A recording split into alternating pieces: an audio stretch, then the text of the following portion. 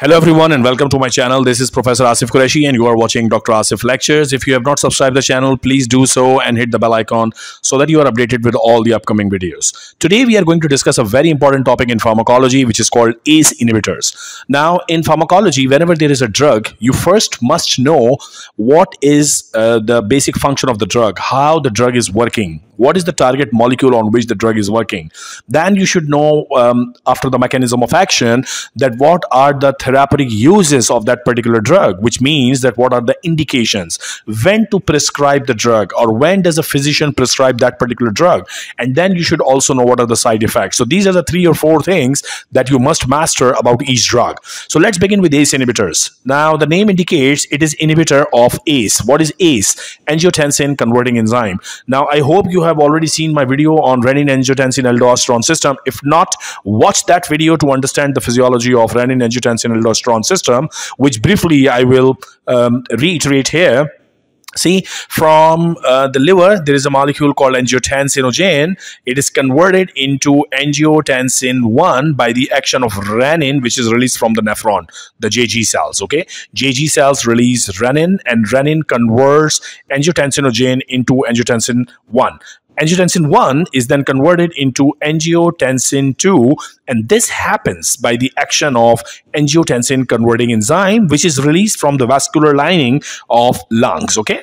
And this angiotensin 2 is then responsible for increasing the blood pressure and also increasing the blood volume okay? Now think it backwards. If you block ace if ace inhibitors are used and ACE is blocked, then obviously angiotensin 2 is blocked. And when angiotensin 2 is blocked, I can also say that levels of angiotensin 2 will go down.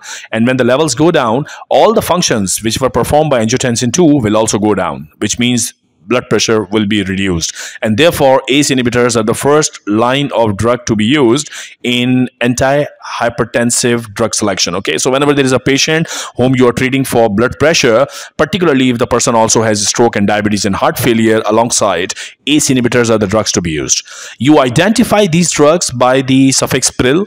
So you see the names captopril, enalapril, lisinopril, all this pril thing. Whenever you see pril, you think that this is an ACE inhibitor an ACE inhibitor, you should uh, joggle your memory that it is inhibiting ACE and because ACE is inhibited, level of angiotensin 2 is going down and the blood pressure is going down. Okay, so this all complete paragraph should be very clear to you. Let's move on to the next page and see what they're talking about. So actions of ACE inhibitors. ACE inhibitors lower the blood pressure and I just told you how by decreasing the levels of angiotensin 2. Okay, and blah, blah, blah, blah. The drugs blocks the enzyme ACE. Obviously, this is why they are called ACE inhibitors, which cleaves angiotensin 1 to form angiotensin 2. So I just told you what happens is angiotensin 1 is in normal physiology converted into angiotensin 2 by the presence of ACE. And if you are blocking ACE, then this is not going to be produced. Okay, so that is the mechanism. Now, this is an important thing to remember. ACE is also responsible for breakdown of bradykinin. Now, bradykinin is, is a molecule in your body which is broken down by angiotensin converting enzyme. Okay, now this bradykinin will be increased in concentration if you are blocking ACE. So ACE usually breaks down bradykinin, but when ACE inhibitor is being used, so you are blocking ACE, the levels of bradykinin will go up and this can also induce cough. Therefore, one of the side effects for using ACE inhibitor is bradykinin levels are up and this leads to cough. And examiners ask this very routinely. The, what is the cause of cough when the patients use ACE inhibitor? So the cause of cough is increased levels of bradykinin. Also, bradykinin helps in the production of nitric oxide and prostacyclins, both of which are vasodilators. And because they are vasodilators, they reduce the blood pressure. So see how ACE inhibitors is reducing the blood pressure. First mechanism was how is it reducing the blood pressure? The first mechanism was decreasing the levels of angiotensin 2. The second mechanism is by increasing the concentrations of nitric oxide and prostacyclins okay? And there are more mechanisms. All the actions which were actually exerted by angiotensin 2 will be blocked. So for example angiotensin 2 was a potent vasoconstrictor Now, because you are inhibiting ACE, all that vasoconstriction will go away and now vasodilation will happen. Okay, so vasodilation will happen and this will lead to reduction in uh, blood pressure. So, therefore, uh, because it is vasodilating the blood vessels, the load on the heart, preload, and the resistance against which the heart has to pump, the afterload, both go down. Therefore, this is a very good drug for those patients who are going in cardiac failure because in cardiac failure you want to reduce the load on heart both preload and as well as afterload. And ace inhibitor does that okay? So see if you do not understand the primary thing the primary thing is here that i told you angiotensinogen to angiotensin 1 to angiotensin 2 by the action of ace. Now ACE blockers will block all the activities performed by angiotensin 2 and in order to understand the activities performed by angiotensin 2 watch my previous video on renin angiotensin aldosterone system. Here they have again um, redrawn the same thing angiotensinogen from liver. This comes from liver and it goes and forms angiotensin 1 in the presence of renin which is released from the jg cells all this has been discussed in my separate video. And now angiotensin 1 is converted into angiotensin 2 by ACE inhibitor. And angiotensin 2 does everything to increase blood pressure. And when you block ACE, the blood pressure increase is not there and actually it decreases. Okay. So that's the basic theory. Now, when is the drug used? What are the therapeutic uses of this drug?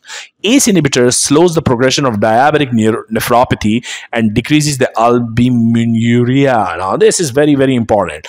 Now, these drugs help uh, diabetic nephropathy, and the uh, theory behind this is see, if this is the Bowman's capsule, okay and here is the afferent arteriole and here is the glomerulus and here is the efferent arteriole now one of the functions of angiotensin 2 is that it goes to the efferent arteriole and does constriction okay? It does constriction of the efferent arteriole. Now as a result of this constriction pressure in the glomerulus goes high because you are blocking it here. And because of this high glomerular pressure there are chances of uh, getting nephropathy because the filtration fraction is increased okay? Now if you block ACE by using ACE inhibitors, levels of angiotensin will go down and this vasoconstriction effect will go away and therefore the pressure in the glomerulus will not be increased and therefore it prevents diabetic nephropathy. Okay. Therefore, I told you in the very beginning that in patients with heart failure, in patients with diabetes, ACE inhibitors are the drugs of choice. Okay. Therefore, they are the drug of choice uh, and they have also written it ACE inhibitors are first line drugs for treating heart failure, hypertensive patients. So, patients who have uh, blood pressure along with heart failure or chronic kidney disease, the drug of choice is ACE inhibitors. Okay, now another very important line here all of the ace inhibitors are equally effective okay? So there is no priority of one over the other apart from some prioritization that i will tell you in a minute. Now the pharmacokinetics very important. How is the drug handled in the body? All of the ace inhibitors are orally bioavailable. So they are orally available either as a drug or a prodrug but captopril and lisinopril all but captopril and lisinopril undergo hepatic conversion to active metabolites.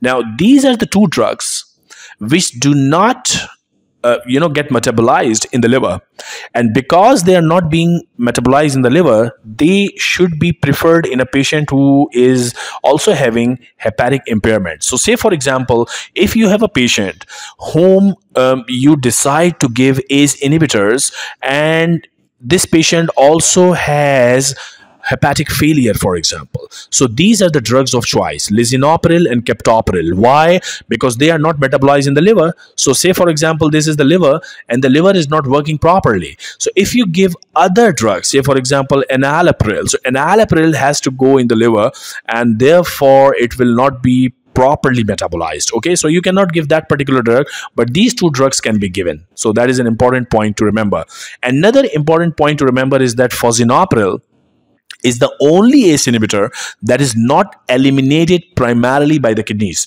Therefore, it does not require dose adjustment in the patient with renal impairment. So basically, three drugs you have to remember: captopril, lisinopril. You can give in uh, hepatic failure and fosinopril that is the one that you can give in renal failure okay? Now there is only one formulation. This this is available as iv which is enalaprilat and this is given as intravenously. All the other ones are orally available but there is only one drug which is iv formulation okay? And that is enalaprilat okay? So remember that. So this is all about the pharmacokinetics of this drug. Now let us talk about the adverse effects okay? Now side effects or adverse effects are very commonly tested in the examination. And the first one listed here is dry cough. And i told you why would you see dry cough? Because of the increase in levels of what? Bradykinin okay? Bradykinin is routinely broken down by um, ACE and if you inhibit ACE angiotensin converting enzyme the levels of bradykinin goes up okay? And this leads to dry cough. So this is one thing that you must remember and usually this cough resolves within a few days of discontinuation of the drug. So if you have a patient whom you prescribe bradykinin uh, oh sorry whom you prescribe ace inhibitors and the patient turns up to have a lot of cough so you just discontinue the drug convert the patient on some other drug and the patient becomes fine. So this is okay. Some patients uh, develop angioedema which can be life threatening now potassium levels must be monitored. Now this is very very important you know why? Because again, if you see my physiology video, then you will understand. So what was the molecule, the master molecule of the renin angiotensin aldosterone system? Angiotensin 2. And one of the jobs of angiotensin 2 was to act on renal tubular cells to reabsorb sodium, see, to reabsorb sodium and to secrete potassium. This was the job, okay? To reabsorb sodium and to secrete potassium in the urine. Now, and angiotensin 2 obviously was being produced under the influence of ACE. Now you have blocked ACE. Now, if ACE is blocked, angiotensin 2 production is blocked. And when angiotensin 2 production is blocked, this sodium reabsorption is blocked and this potassium excretion is blocked. Therefore, this drug will increase the level of potassium in your bloodstream. And this is why we call that hyperkalemia can occur. So the drug has the risk of hyperkalemia okay?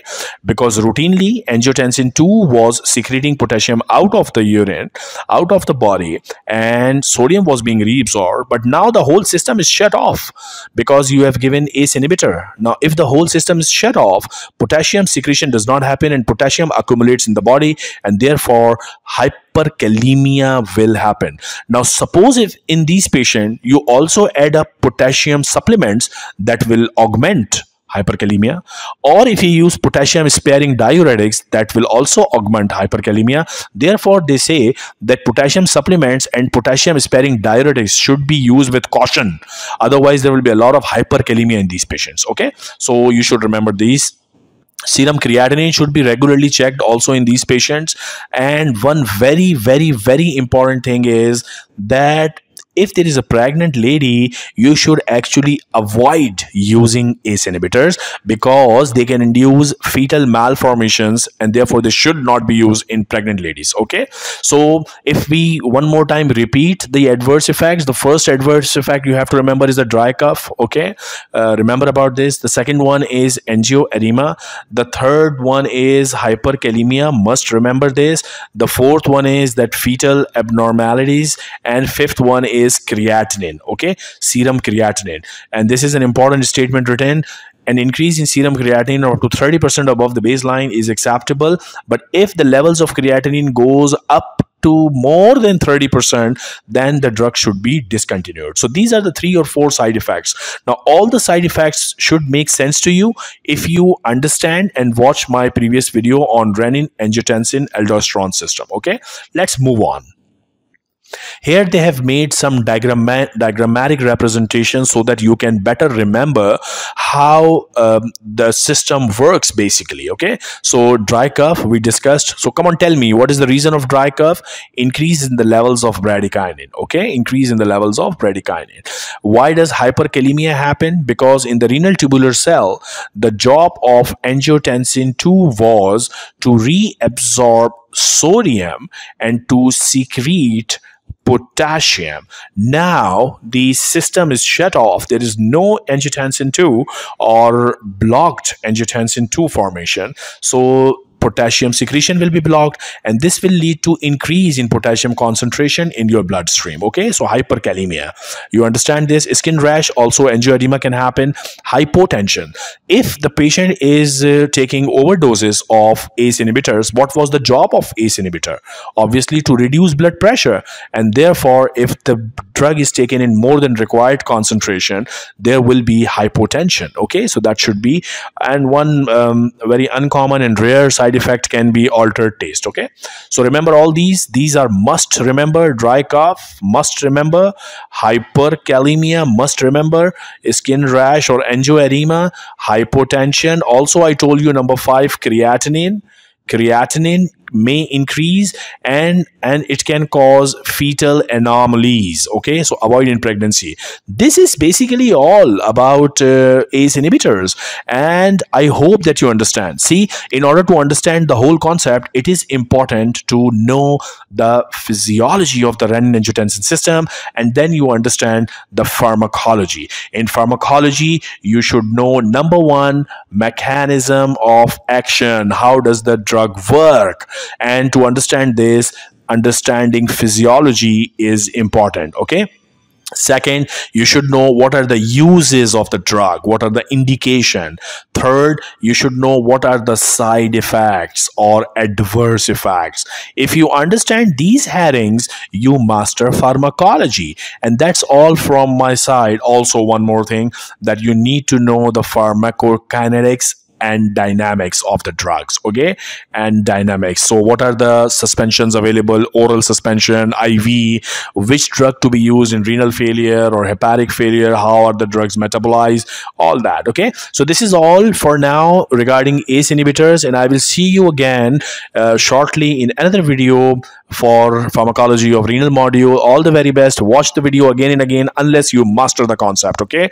And with this video the previous video on renin angiotensin aldosterone system is a must to watch. So see you all in the next video. Till then take care. Allah hafiz